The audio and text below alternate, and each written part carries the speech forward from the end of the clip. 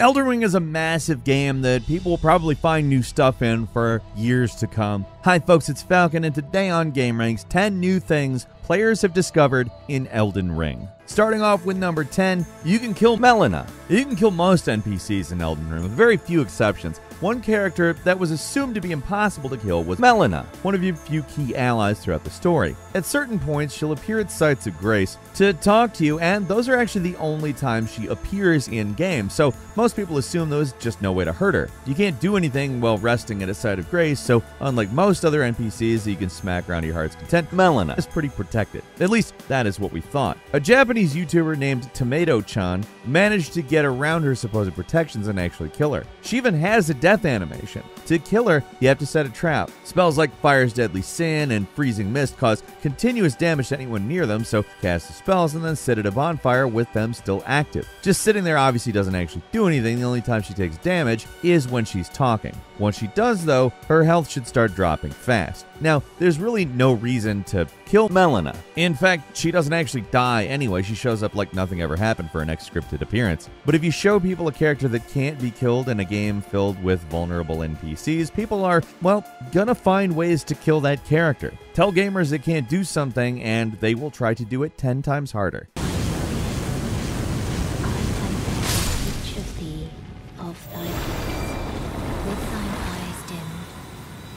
Be driven from the lands between.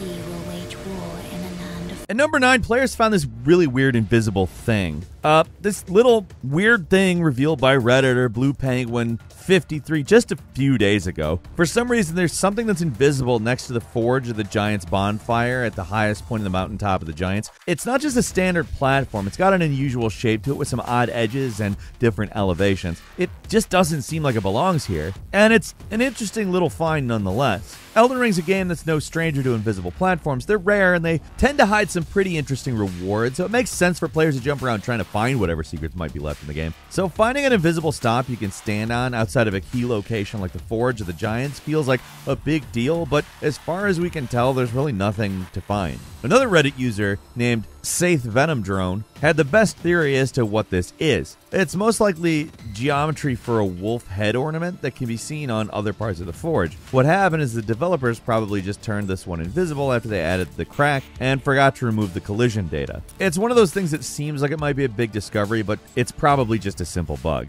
And number eight, it's Fia's Champions. One of the more forgotten optional bosses in Elden Ring is Fia's Champions. A pretty basic invader style fight where you fight five enemies total. If you've been playing offline, it's always the same. But if you're online, the fight is actually a little randomized. Most assumed it just drew from a pool of randomly generated enemies, but the actual way it works is more complicated. Getting held by Fia doesn't just make you the subject of a thousand memes and a health debuff. It it actually has a second secret purpose. Credit for this one goes to Matt Gren on Twitter. They took a look at the game scripts and confirmed that if you're online, the game will upload your character's build when you're held by Fia, which is called up when another player takes on Fia's champion. This isn't the only time a fight does that. Getting the Great Jar's Arsenal will upload your character build to become the Great Jar Knight for another player as well. This apparently is triggered when you're held before fighting the Lich Dragon boss as well.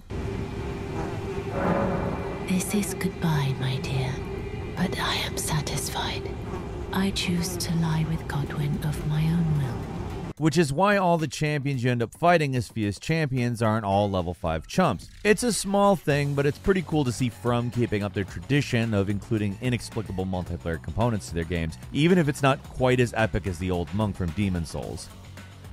And number seven is the Maliketh Site of Grace ship. Elden Ring is by far the most open ended Souls like game. Just being able to jump on command is a game changer. Players through this have managed to discover a lot of creative ways to skip parts of levels. We've already covered one pretty decent skip in the crumbling Farum Azula that lets you bypass the Godskin duo, but this skip's almost as good as that. With it, you can avoid many of the most annoying enemies in the area. Like you can totally skip all the birds, shuriken guys, spellcasters, and the dragon just by doing a few careful jumps. Credit to Redditor Luvanir for finding this one. It's not essential, but some of these enemies can just be absolute hell for certain builds. So getting the option to completely bypass them can be pretty handy, even if you just, you know, run by them. Still, these kinds of parkour tricks are awesome if nothing else, so we're always there to highlight these kinds of things.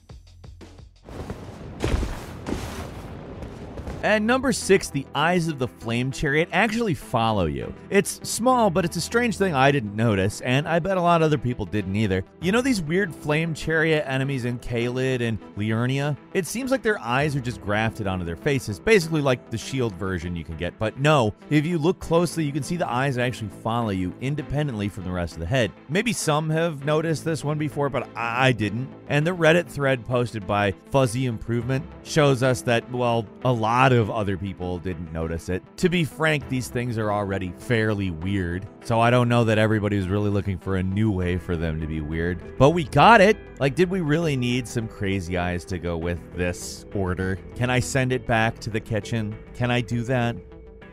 At number 5, the Wings of Astel has a new sound effect when it's close to the Astel boss fight. Here's a pretty unusual thing that we're crediting to Redditor Hans Christ 1, who probably wasn't the first person to notice this, but is the only poster I've seen with actual visual proof of this effect. For some reason, when you're close to the Astel boss door, any of the other Astel likes out there, like Astel or the malformed star enemies, the uh, Wing of Astel weapon gets a new sound effect, and its heavy attack gets faster, potentially.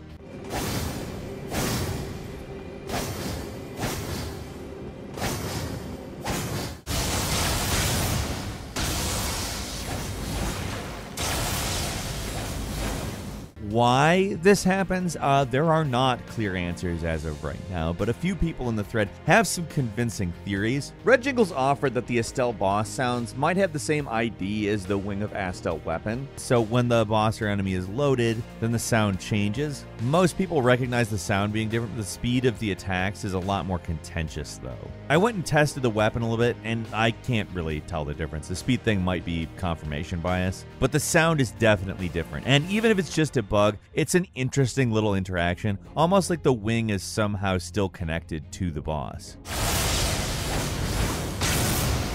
And number four is the weirdness of the deathbed dress. Uh, the deathbed dress is just a really weird, buggy piece of armor. Maybe it has something to do with its ability to heal nearby allies or something, but there's just some strange interactions you can do with this thing. Case in point, if you equip a flail and do heavy attacks, apparently you will hurt yourself. That's actually something that's been known for a while now, but another more recent thing, posted by Where'd My Piggy Go, shows us that for some reason, if you try to sneak while wearing the dress, then enemies enemies will pretty much always get alerted before you get close to them. You would think that this dress would be pretty quiet. It's not exactly a heavy suit of armor or anything, uh, so you'd think it wouldn't generate a lot of noise, but apparently not. Try to sneak anywhere wearing it and you get caught no matter where you go. The user speculated it's possible the healing buff the outfit has triggers enemies somehow, and I guess that's as good of a guess as anything else. You'd have to be a crazy person to wear a silky nightgown into a fight, though, and I guess the game agrees with that because any other explanation is just that it's uh, buggy. And number three is the Wed Wolf of Radagon, wearing jewelry. There are so many little details in Elden Ring that it's easy to miss all of them, and while this one's kind of minor in the long run, it's unusual. Uh, at the Academy of Raya Lucaria, you encounter the Red Wolf of Radagon. For most players, it's only a minor roadblock in the journey, but visually it's a pretty striking creature with its red fur and its lore implications. Um, to say the least, can't be ignored either. But one aspect of it a lot of people missed, myself included, is that it has jewelry. Credit to this one goes to CthulhuBot666, who posted a close up of the wolf for proof, and yeah, it's got a pierced ear, like that's for sure a pierced ear. There's also metal beads braided into its fur as well. They're all little minor details that are basically impossible to see during the boss fight because it moves around pretty fast, but the attention to detail and the possible lore implications are very interesting and are still being found by players players even now, months later. At number two is a Subterranean Shunning Ground skip. If you absolutely hate this area, and I don't blame you if you do, it can be pretty rough, uh, this skip is a godsend. Credit for this one goes to two people, the real Fluforon for posting the video and Demon Boy 995 for suggesting it. It's a relatively simple skip that lets you basically bypass the entire area and skip straight to the elevator that takes you down to the boss. No more basilisks, no more annoying omen guys, no more getting lost in the confusing sewers. Now all you have to do is make a specific jump in the big cistern area that is not far from the first bonfire. It's not the easiest jump to make, but it doesn't require any special weapons or tricks. It just takes practice to pull off. From Software really just can't help themselves with hellish sewer levels in their games, and this place is kind of one of their toughest, so I don't blame anyone for wanting to skip it.